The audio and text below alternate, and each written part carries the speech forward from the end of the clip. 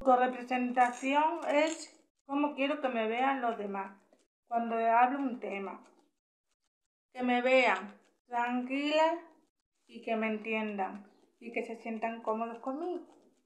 Para mí la autorrepresentación es representarme yo a través de una asociación.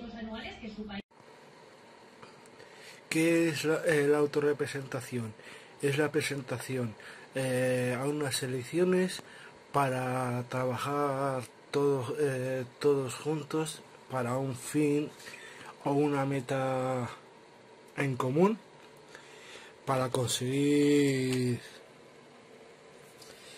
eh, por el significado de la palabra autorrepresentación para mí es que una persona se representa a sí mismo. Creo que esa es la definición.